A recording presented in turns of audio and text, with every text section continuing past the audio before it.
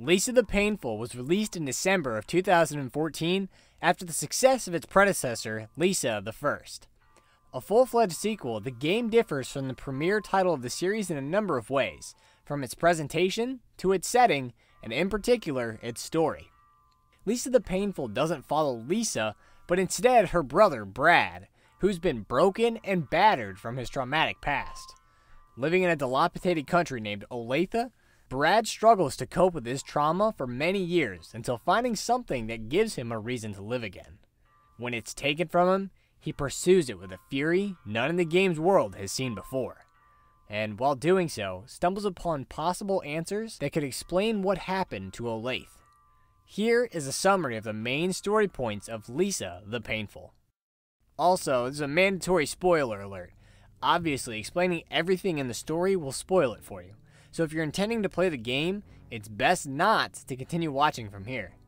Playing through the game is really the best way to experience it, as the tone and the themes of the game don't resonate as well in the video format. So I would strongly recommend playing the game before watching everything here. Also, this video will only focus on the main story points of the game to make everything a smooth viewing experience, so some of the side areas won't be covered. Now, with all of that out of the way, let's get started. The game opens in darkness with a smooth, summery song sounding out. But the music is interrupted by beating. Brad begs for it to stop, but the voice in reply tells him to shut up, since the beating is retaliation for their ball being stolen. In an effort to spare the one being beaten, Brad admits he stole the ball, and that Rick had nothing to do with it. A curse is thrown his way, and a violent fury is poured upon him. The darkness is lifted, and a young boy, Brad, lies beaten and battered, with others sneering over him, while his friends, Rick, Cheeks, and Sticky, timidly stand off to the side. Christopher Columbo, the boy holding the ball, calls Brad and his friends idiots, and together with his gents, walks off. Brad stands up, holding his head, while Rick hangs his. Rick sheepishly thanks him, while the others stand in silence and as he walks by his friends, they apologize to him. Brad passes through his small neighborhood seeing familiar sights. Mr. Anganelli, Sticky's father, sitting alone by one of the many trees dotted around. Another man mowing his green grass who seems to pity Brad. In the dense woods that separate his dilapidated house from the rest of the others. Before going inside, Brad notices a man in a brown suit with sunglasses standing nearby. When Brad approaches, he hears him mutter, Olathe. It's perfect. The man doesn't acknowledge Brad, so Brad returns to his house. He enters, where he finds Marty, his father. In his trademark red shirt and signature black sunglasses, he sits alone in the dimly lit living room watching TV. Its eerie sound is shut off as Brad walks in. Marty takes a quick glance at Brad and is disappointed about him returning home beat up. In a fit of anger, he grabs a nearby bottle and hits Brad in the head with it, screaming that he's not buying Brad another shirt. Brad sacrificed his body for his friends. He took the pain so they didn't have to. And instead of being rewarded for his altruism by his father, he's punished. And Marty mutters aloud how he believes Brad is worthless. He orders Brad to his room, then returns his attention to the uncanny television. On his way to his room, Brad checks on his little sister, Lisa, whom he finds sleeping soundly in her crib. After ensuring she's safe, he goes to his room. Still clutching his head, he wanders to the foot of his bed, where he collapses and cries alone to himself. Fast forward a number of years later, and Olathe has changed. A catastrophic event struck the country, killing the grassy fields and luscious trees that used to cover it, transforming it into a wasteland. Concurrently, all of the women in Olathe seem to have disappeared, leaving men as its only inhabitants. With no way to birth more people, the human race seems doomed for extinction. Yet humanity, in its stubbornness, continues, and Brad, now a man, stands alone in this desert. As a child, he was able to escape from his father's abuse, albeit broken and scarred. But his escape left his little sister Lisa alone with the monster that was their father. Left to suffer on her own, she couldn't cope with the horrors she endured, and eventually took her own life. Brad feels he abandoned his little sister, and as an adult, struggles with the scars of his past. He's eyeing a little blue pill he holds in his hand. It's a drug named Joy that makes the user feel nothing. Brad uses it to escape the trauma of his past and the guilt he feels over Lisa's death. He downs the pill, and suddenly he hears something he hasn't heard in years a baby crying. And indeed, he does find an abandoned baby. He attempts to soothe it, and after accidentally dropping it to the ground, eventually comforts it. Intending to get it somewhere safe, he carries the baby to his home where he lives with his childhood friends Rick, Cheeks, and Sticky. They're shocked to see what he's holding, and a realization hits Cheeks. If there's a baby, there must mean there's a woman out there somewhere, meaning there is hope for humanity. He finishes his thought by commenting that she's probably super hot. Rick quiets him down, then asks Brad if the baby is a boy or a girl. Brad hasn't checked yet, so he turns from his friends, checks, and tells them it's a girl. They're stunned by this revelation. Brad is holding the only girl left they know to exist. Rick, understanding the severity of the situation, says they need to tell somebody. Cheeks suggests Rando, and Rick agrees, mentioning he would be better equipped for something like this. But Brad has different plans. He intends to shelter the girl, saying that she wouldn't stand a chance in the world filled with men they live in now. Rick attempts to dissuade Brad from his plan, but Brad remains obstinate, saying he's keeping her even if they refuse to help him. He won't give the baby up, because this is his second chance. He makes a promise to his little buddy that day. He tells her he won't let anyone hurt her. The four men construct a room for Buddy below their hut where they raise her throughout the years. And all the while, Brad still struggles with his addictions. His paranoia compels him to keep Buddy contained within the hut for fear of her discovery, even though she longs to be outside. One day, while Brad is passed out after a binge, Buddy takes her first steps past the threshold of the door. But Brad quickly emerges, and Buddy shoots back inside. As Buddy sits crying in her room, Brad realizes his paranoia and drug abuse is hurting the one whom he loves. So he walks to a nearby cliffside and dumps the rest of his joy pills. He works on making something for Buddy to keep her safe when she wanders outside. He approaches her in her room and shows her a mask he made so she may finally go outside. The two walk hand in hand, finding a white flower in the wasteland that's usually devoid of life and beauty. It's a turning point for them, and the two are next seen with smiles on their faces as Buddy plasters makeup onto Brad. Seeing how happy it made her, Brad grabs Rick, Sticky, and Cheeks and has Buddy do all of their makeup. It's a moment of happiness for all of them, and after the others leave, Brad and Buddy fall asleep. However, Brad still struggles with the trauma of his past, and although he tries to fight it, the pain gets to be too much for him. While Buddy still snoozes, he sneaks out and finds the joy pills he dumped from the cliffside earlier. Although disappointed, he can't help himself and gorges himself on joy and alcohol. Attempting to hide it from Buddy, he does it away from home, leaving her there alone. Brad awakens surrounded by the fruits of his labor, hearing the barking of a dog. He investigates to find it has trapped a man in a tree. The man can't fight the dog because he pulled his groin, so asks Brad to do it. Brad kills the dog using his familial Armstrong style. Afterwards, the man introduces himself as Terry Hintz, the lord of the tutorial. He's been leaving hints all over the world and mentions he's a pretty big deal with a lot of fans. Unamused, Brad begins to walk off, but Terry calls after him, saying he'll tag along with him since he seems so lonely. And thus, Brad gets a new companion. The duo make their way back to Brad's hut, where they find Cheeks slumped over in a pool of his own blood. Brad crouches next to him, and with his dying breath, Cheeks tells Brad she's gone. Brad is saddened by the passing of his friend, but Buddy along with Rick and Sticky, are missing. He needs to find them before the worst befalls Buddy in this world of men. He tells Terry he's going on alone, but Terry, after getting some information out of Brad, says Brad's gonna need someone to protect him, and reluctantly tags along since he's a powerful warrior. And thus, Brad gets a new companion again. Brad follows the kidnappers through a cave at the bottom of the cliffside, fighting through some of the men while passing the corpses of others. Coming out on the other side and passing what seemed to be a vicious, bloody fight, Brad is hit by a Coca-Cola Cola truck, knocking him and Terry unconscious.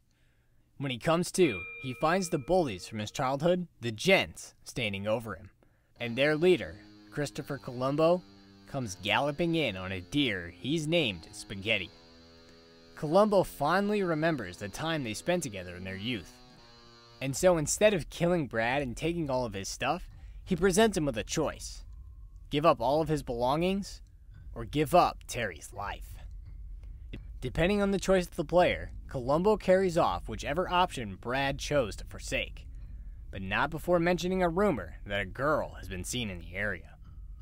After the gents depart, if Brad spared Terry, he fills him in on what happened, and Terry says Brad must be a bad omen. But he likes Brad and joins him. And thus, Brad gets a new companion yet again. Brad continues his chase until coming to a cut down bridge behind a Coca Cola Cola truck. When he talks to the man standing nearby, he learns that a bunch of men ran through here talking about a girl when a balding guy in pink and a phallic headed man in green cut out the bridge. It sounds like Rick, Sticky, and Buddy made it across the bridge and cut it down to thwart the pursuit. But then the men says that three dudes with amazing hair found the girl hiding inside the truck. They carried her off to their clubhouse in an old factory and invited everybody. The man says he didn't go because the girl was ugly. Seems like Buddy didn't manage to get away, so Brad needs to find out where this hideout is. While searching the area, Brad continues to be haunted by memories of his traumatic past.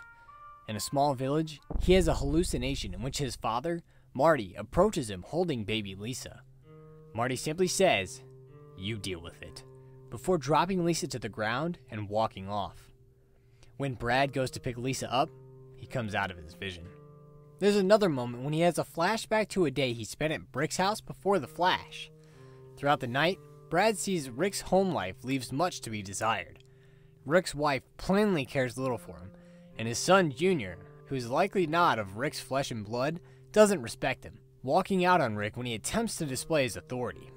Rick maintains a chipper attitude through it all, but laments to Brad later when the two are alone in the backyard.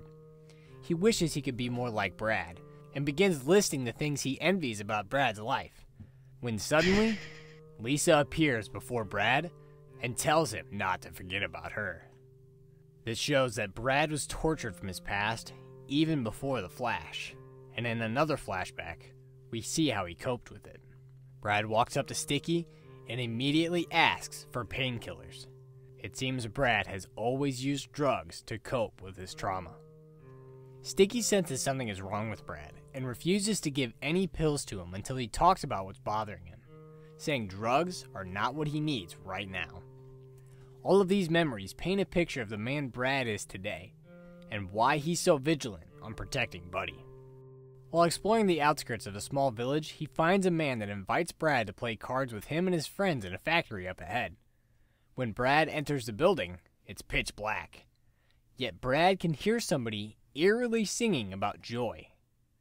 The man lights a lighter, and its flame lights up his face, which shows a sinister smile stretching across it and he asks Brad, How about you? Light fills the factory, and Brad finds he's not alone with the man. There are many others standing around him with smiling masks upon their faces, masks that show just how joyful they are. The man seems to recognize Brad and notices he seems unhappy. He gives Brad some joy, telling him to take care of himself and that he'll check on him soon. Brad is rushed out of the dark factory back into the daylight of the world. Confused and troubled from this encounter, Brad barely has time to settle himself before coming upon a grotesque sight. He passed a man earlier that was mumbling to himself, seemingly in a daze. That man has now mutated into some kind of monster, swelling in size with his arm crookedly stretched out in an unnatural fashion. and when Brad approaches, it attacks. Brad and his companions kill the monstrosity, and curiously, find it drops joy, the same drug Brad has been taking for years and given to him by the man a few moments ago. They also come to find that this is not the only mutant around. In the remains of a broken down playground, they find another mutant, and sitting nearby is a man. He comments on the mutant's smile, how he's watched it kill dozens, and through it all, it keeps its unsettling smile. Brad and his companions kill the mutant, again finding it drops joy. The man who before looked on the mutant in contempt is now filled with pity. Brad finds a bike on the cliff behind the mutant, which allows him to hop over gaps and will allow him to explore more of the area. One of the areas he explores leads him to a mountaintop, where he sees a man with a polka dotted poncho playing a trumpet. When Brad approaches, the man stops and looks at him in anger, like he's annoyed Brad interrupted his song. And that's when Brad notices he could hear the song throughout the entire area. Brad leaves the man alone and returns to his search, finding a man that tells him the girl is up ahead in an old clubhouse. Brad finds the clubhouse, but the doors have been locked, and the crowd of men outside are attempting to break in, lamenting their missed opportunity at getting a chance with the girl. Brad manages to get into the building through a hole in the wall on the second floor and climbs to the top where he finds three men with great hair. They're ready to let Brad get the first go at the girl. But when they see his balding head, they take it as an affront to the magnificent Maine's Men's Club and attack him instead, perishing to the firebombs that burn their way through them due to the vast amount of hairspray in their hair. Brad enters the room where the girl is to not find Buddy at all. It's a man, and he explains that he's just a truck driver. The truck by the bridge is his, and he confirms the girl did in fact escape across it. He can repair the bridge with tools in his truck if only he is set free. Brad, needing to get to Buddy, agrees to take the man, named Fardy Hernandez, with him back to the bridge. Brad and company finally get to the truck, and Fardy makes quick work of the bridge. Brad continues, fighting through several more men before coming to a small cave where he finds Lisa hanging. She talks to Brad, asking him why he loves Buddy more than her, why he hates her. After all, he's supposed to protect her. She soon fades away and is nowhere to be found afterwards. It was a hallucination driven by Brad's warped mind. Brad continues, killing more men and saving another from a spider. After this, he finally finds Rick, who is bleeding from the stomach and stares at him in wide eyed amazement. Brad asks what's going on and if he knows where Buddy is, but Rick runs from him Brad gives chase while Lisa watches from the cliff top. When Brad catches up to him, Rick turns and punches Brad away. He again runs, and this time, when Brad catches up, he tackles Rick to the ground. He ties him to the crumbling utility pole and demands Rick to tell him where his daughter is. Hearing Brad call Buddy his daughter fills Rick with contempt, and he tells Brad she's gone. Rick explains that she doesn't belong to him anymore, that they'll be saving the world by using Buddy for repopulation. Brad is upset at this, so Rick asks him what they should do. Should they just die off? Brad doesn't have an answer, so he turns his back to Rick and asks him where Buddy is. Rick answers with silence. Brad tries to understand why. Why he took his girl away, which just enrages Rick even more. He screams that humanity has bigger problems to worry about than Brad's little family. That just because he has some pent up guilt doesn't mean the rest of the human race should suffer. He tells Brad it's time to quit being selfish. But Brad is ready to forsake the rest of humanity for his daughter. Defending himself, he mutters Rick doesn't know him, prompting Rick to say he does know Brad is a washed up druggie that isn't fit to raise the most important kid in the world. He knows he's no father. He's an addict. Brad's response changes depending on if the player has used joy at all during the game. But nonetheless, Rick doesn't want to hear it. Brad demands to know where Buddy is one last time, threatening to hurt Rick if he doesn't give up information. Rick stoically invites it. Brad, at his wits' end, strikes Rick, his childhood friend, in the face. His determination to find Buddy has turned him against one who he at one time protected. Rick absorbs the blows, never giving up information, and begins taunting Brad. This prompts Brad to pick up a spiked club nearby. He asks Rick not to make this any harder, but Rick just tells him to shut up. Something snaps at Brad. He walks up to Rick and repeatedly smacks him in the face with the club, completely tearing it up. Rick tries to get Brad to stop, but Brad keeps beating him. Rick finally screams that she's with Sticky, hiding in a cave waiting for Rando, but Brad doesn't let him finish. Rick pleads with Brad that he's killing him, but Brad keeps going and going and going until he blacks out. He awakens to a battered and bloody Rick, whom he leaves tied to the utility pole as he figures he's done for. While passing through a dark cave, he hears someone call his name. A lighter is lit, and in the darkness, Brad can see the smiling man and his masked men from the warehouse surround him. The man greets Brad, who asks how the man knows his name. The man answers that they go way back and is surprised that he doesn't remember him. The rest of the cave is lit up, and the man pulls one of Brad's companions forward. He asks Brad if he loves this person if he cares about them. He wants to prove Brad has changed, and so asks Brad for his arm in exchange for the person's life. Brad has a choice to fight the man, whose name is revealed to be Buzzo in the battle. But if Brad chooses to do so, he is absolutely destroyed by him. So it comes to it either Brad's arm or his companion's life. Depending on the choice of the player, either Brad's arm is severed to Buzzo's delight, or his companion is killed to Buzzo's disgust. Brad exits the cave where he finds a dying man who offers him his motorcycle, so long as he promises not to wear a helmet since that's lame as hell. Brad hops on the bike, and as he rides through the cliffs as the sun sets, he contemplates all he's seen since he set out to save Buddy. He thinks about the strange mutants he saw, and how they both dropped joy the drug he's been taking for years when killed. Is there something more sinister to joy? Or does it just help take your pain away and make you feel joyful, just like those masked men of Buzzo's? He then wonders about Buzzo himself, about why he gave him the choice he did, to make the difficult decision between his own pain or his companion's life. He seemed to have delighted in watching Brad squirm over the choice. Does he want to see him suffer? No, that can't be it. He's just like all the other perverted men he's encountered thus far. The ones that only want Buddy to satisfy their sexual desires. He knows that's all they want. Even if they try to disguise it as a noble cause of repopulation. Just like those traitors Sticky and Rick. Their betrayal has made him realize he can't trust anyone. So he'll protect Buddy from anybody even those he used to call friend. His thoughts are interrupted when he crashes into someone, throwing him from the bike. As his vision clears, he perceives a truck that is filled with mutilated corpses, their blood leaking from the bed, forming a puddle on the ground, which he now lies in.